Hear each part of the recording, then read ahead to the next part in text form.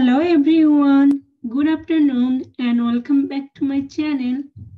In this video, I will talk about how you can remove duplicates using Stata. So um, let's uh, open the data do file. So I'll be using this do file for this video. So let's open the data and browse the data.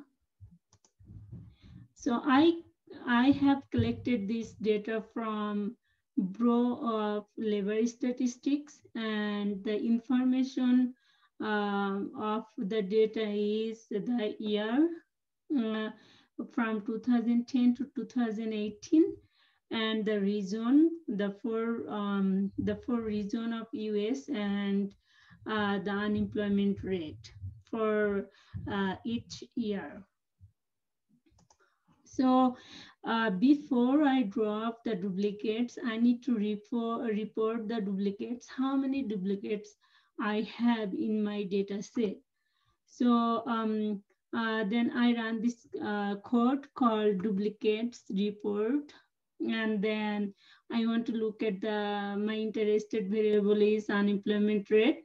So if I run this command, uh, I can see um, that uh, it uh, giving me a table of report saying um, uh, the total observation is 432 and the surplus is 309 uh, 96 that means um, uh, my original copies is 12 uh, and 396 uh, duplicates I have in my data set. So I need to remove these um, 396 duplicates. So uh, uh, now I will uh, run this uh, command called duplicates drop and unemployment and I will use this force because um, this is a necessary co uh, code for um, du uh, duplicate uh, dropping. So uh, this is the necessary option for um, dropping duplicates. So run this command. And it's saying 396 observation deleted.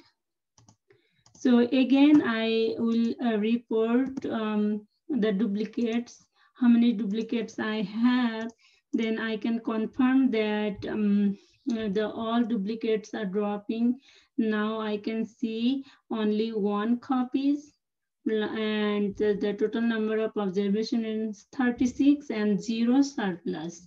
So, um, so there is no duplicates uh, in my data set. So I have four regions and um, nine years.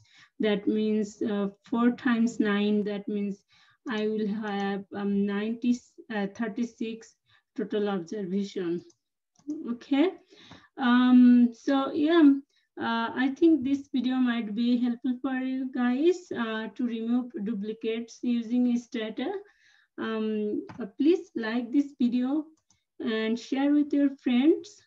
Subscribe to my channel. Stay tuned. Thanks for watching. Bye.